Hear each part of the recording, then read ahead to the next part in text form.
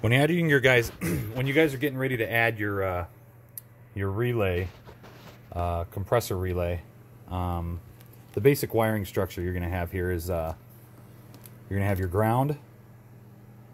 Um, you're going to want a a positive pressure uh, switch trigger. So that's this one coming in here, side of the uh, of the ground. And then you got your throughput, uh, which comes from the battery. We got this green lead coming from the battery.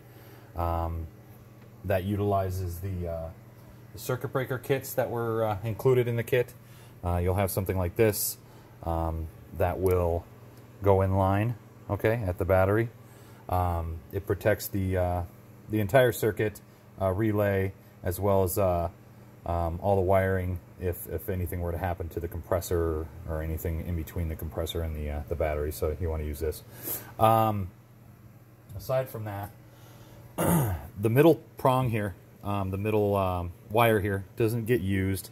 Um, it's the um, basically the wire that's uh, it doesn't get used. It's it's it's a negative state wire, so you're going to want to use the wires that, that get used here are going to be 86, 85, um, 30, and 87.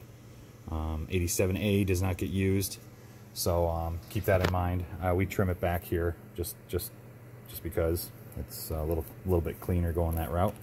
Um, so yeah, so we got uh, we got the positive trigger from the uh, from the pressure switch. That's this one here. This goes all the way down. We could backtrack this all the way down and then back into the pressure switch. And then the other side of the pressure switch is not ground. That's not why it's black. Um, it actually runs all the way to the to the battery. Um, so you're gonna want to you're gonna want to run that up either to accessory or to a switch. You can use a toggle switch of some sort. Um, that'd be fine something like this if you want to activate or deactivate the system. So it would go through this. Um, it'd come from a power source, go through this, and then end up at this uh, terminal here. Doesn't matter. It's non-polarized. So one of these terminals it ends up at, and then it comes out of that terminal and then goes to the uh, to the relay. Um, then the other side of the relay again is grounded. So you got your ground. You tie that in anywhere you'd like here. Um, and then um, and then your power, your main power cable, uh, which has got the circuit breaker on it, goes in, and that is 30, and then 87 it comes out, and then feeds to the uh, to the compressor. Uh, that's the basic circuit um, wiring there for that. Um, you know that'll get you up and running. Once you activate the uh, the positive on this, this whole system should kick on, kick the compressor on, assuming you got the compressor grounded.